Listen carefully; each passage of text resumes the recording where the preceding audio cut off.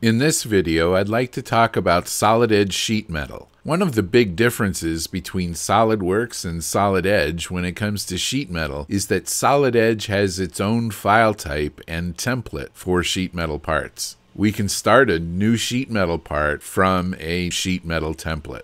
Just like in SolidWorks, Solid Edge has two main ways to get started a tab which is drawn from a closed sketch, and a contour flange which is drawn from an open sketch. Working with ordered sheet metal to create the rest of the features is similar, and SolidWorks users should feel right at home using Solid Edge sheet metal.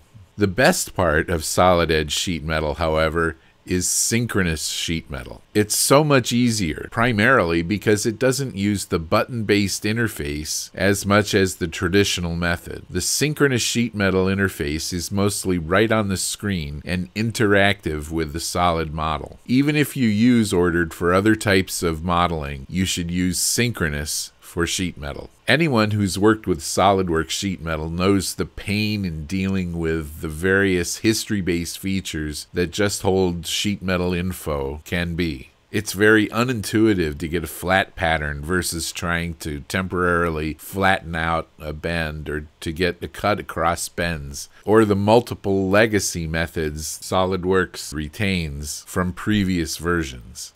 If you've been there in SolidWorks, you know exactly what I mean. There's nothing about sheet metal design that indicates it should be done using history based methods. To start a synchronous sheet metal part, open a sheet metal template and in the Pathfinder, right click and select Transition to Synchronous. There are again two ways we can start with a tab or with a flange.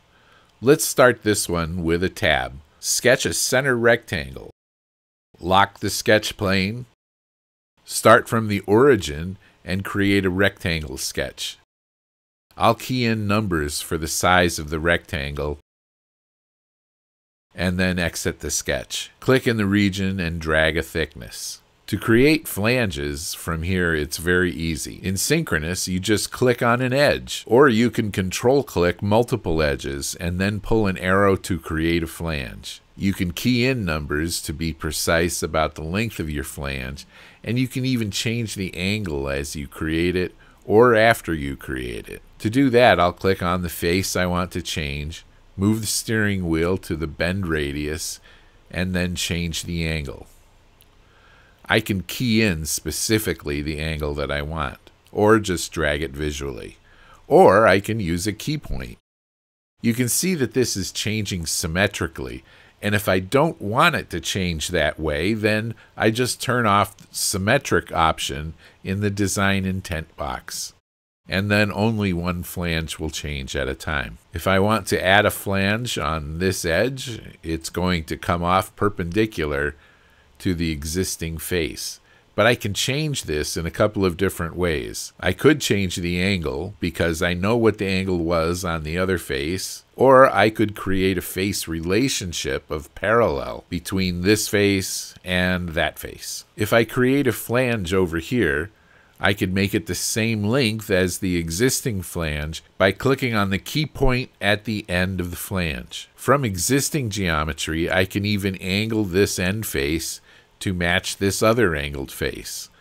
I'll click on the face, move the steering wheel, rotate the angle 15 degrees, and we're good to go. Notice that this flange isn't at the same level as the rest of the sheet metal edges. There are two ways to change this. One way is to use a coplanar relationship between the bottom face of the flange and the thickness face of this flange.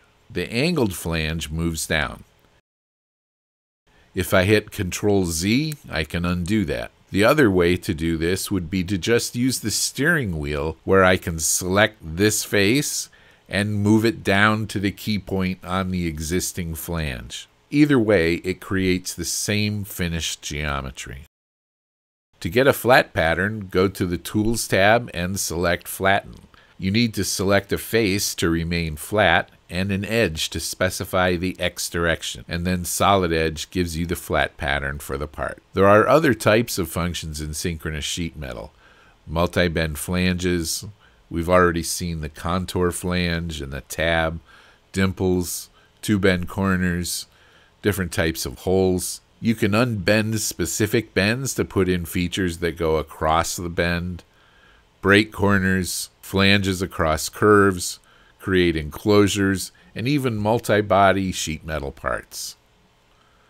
Thanks for watching.